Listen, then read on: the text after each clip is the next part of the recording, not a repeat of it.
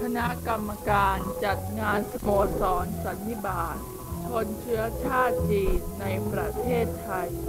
กำลังประชุมกัน โดยมีคุณอัมพรบูรพักเป็นประธานกำหนดงานในวันที่ 24 ตุลาคม พุทธศักราช 2507 ในโอกาสนี้ คณะกรรมการได้กราบถวายบังคมทูลเชิญเสด็จ พระบาทสมเด็จพระเจ้าอยู่หัว สมเด็จพระนางเจ้า พระบรมราชินีนาถเสด็จมาเป็นประธาน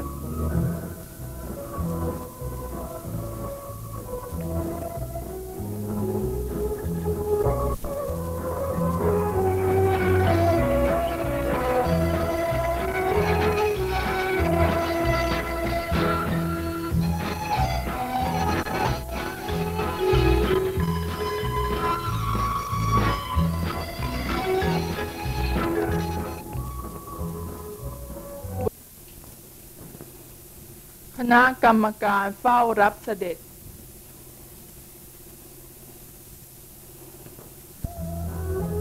บุตรีคุณอุไรวันว่องปรีชา เตรียมทูลเก้าถวายช่อดอกไม้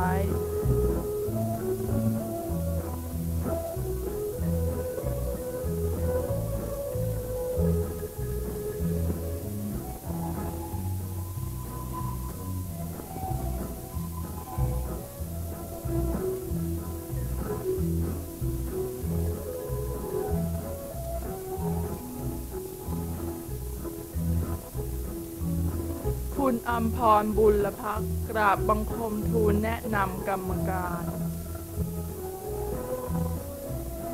ทูลเก้าถวายรายงาน แล้วเบิกตัว ผู้ทูลเก้าถวายเงินโดยเสด็จพระราชกุศลเข้าเฝ้า